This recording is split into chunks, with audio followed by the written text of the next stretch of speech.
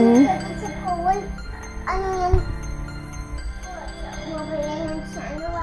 Yes. Yeah, that's right. That, I'm in China ran for stem cells. That's right. And what do stem cells do? Help me see. You talk on the phone, you know. Yes, you talk on the phone, don't you? Yeah. Yeah. You, you talk on the mobile. You talk on the mobile. Uh huh. Nanny and Yeah. phone nanny, talk the Skype, talk everybody and you know, got enough of you. That's what she's like upstairs in the IV room. Just talk, talk, talk, talk, talk. Well, I am Wilma Clarke. This is my beautiful little princess, Dakota. Um, Dakota will be three in April. And she's the one that's here for the treatment.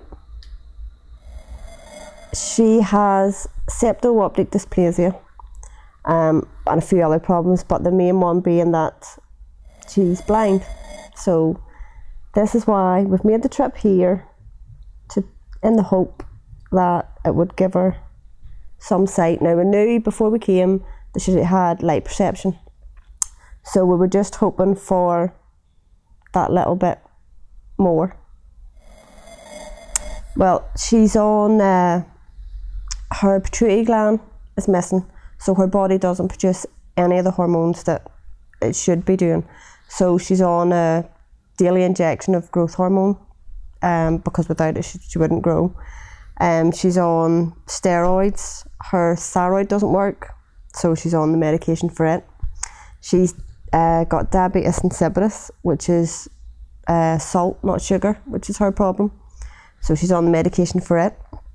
Um, she's had one suspected seizure, but until she has another one, they'll not put on any medication because epilepsy can be another side effect to her septo-optic dysplasia. So at the minute, that's about it. But at the minute, that's probably a bit enough for us to try and deal with. Uh, her body, again, because of the hormones, her body, everybody's body produces melatonin, which is like a natural hormone that helps you feel tired. Um, her body doesn't produce it, so she gets it every night, nearly almost four mil every night. Um, now it just puts her to sleep. It won't keep her to sleep. So if she wakens up during the night, she's on another dose of chloral hydrate to knock her back out, put her back to sleep for a little while.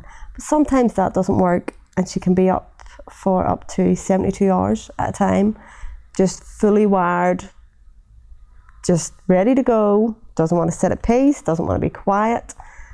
That's hard. That is really, really hard. You want to go the underwater world? But at the minute, it's it's sort of under control. She will she'll still have her bad days or her bad weeks maybe. She'll be up three or four times during the night. Three or four times. But I think we're used to it now.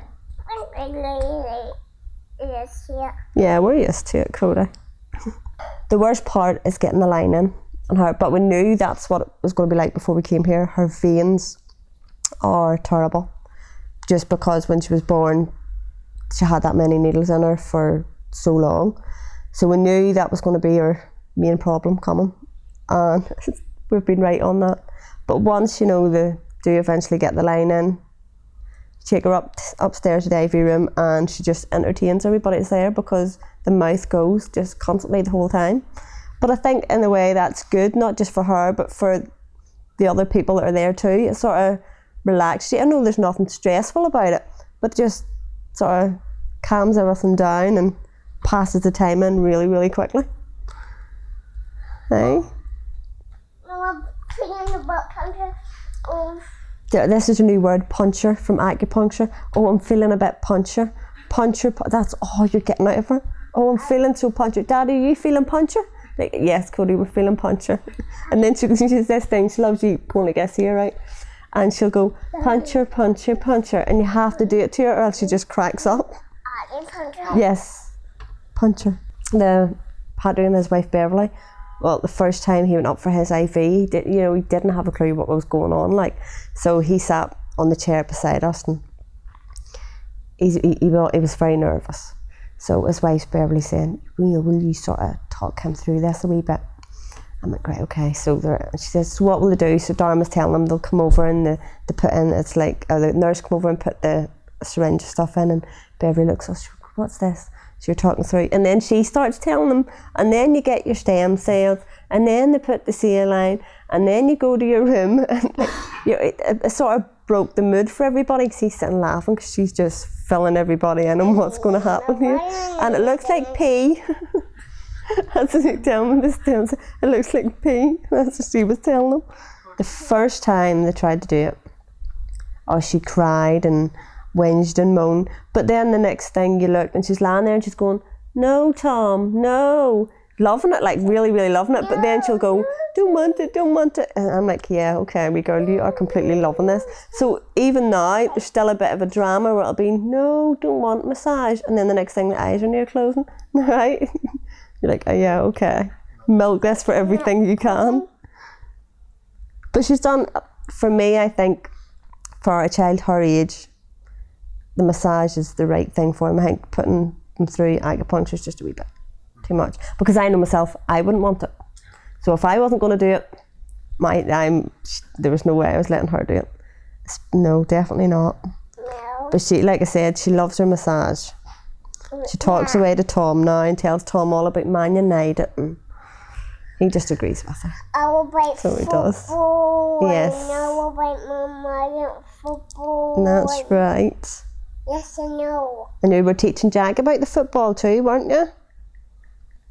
Yes, Hmm? I know. Yes, you know Everything. everything. Everything. What's in the football? I know you love football. Cody, what's your favorite uh, football team? Mama, this Man United. And who's your player? Who's your favourite player? Who scores the goals? He's running Who's winning? and he does score. And who does score? She's seeing things that maybe about well the furthest is reckon about five feet away. You know, it's for us the first thing we noticed. Her eyes were very, very flickery, very wobbly, would have just moved independent of each other. Um, and within three to four days of getting the first treatment, we're looking at her and we're going, right, there's something different here. You know, what is it?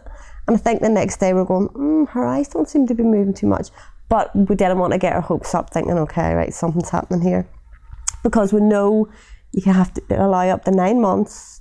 So, but then uh, the Australian girls that were here happened to say to us, uh, Cody's eyes aren't wobbling anymore. And I was like, mm, what do you mean by that? And she's like, well, I didn't want to say anything, but her eyes used to be very, very wobbly, but they're not wobbly anymore. And I was like, yes.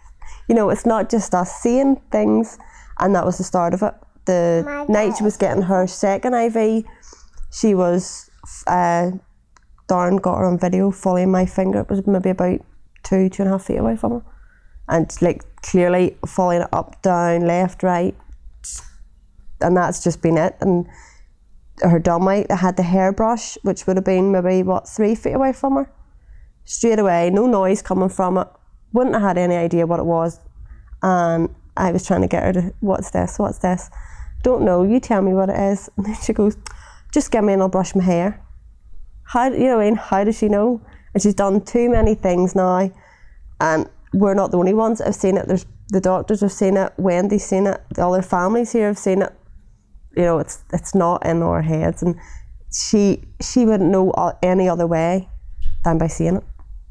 And So she wouldn't- it, Yep, and by seeing it. So it wasn't us coming here and thinking, right, straight away, this is going to work. You know, that wasn't in, that wasn't there for us all, and for her, she doesn't understand what the placebo effect is. So I just don't, just don't see how it can work for her, other than she has to be seeing it. She has to be. For for me and her dad, maybe yes, we you know we could have had our hopes built up that that maybe it could have been in our minds, but for us, I don't think that comes into play because we came here more with the belief that it wasn't going to work. So, because that's always been the way the way we've been with everything.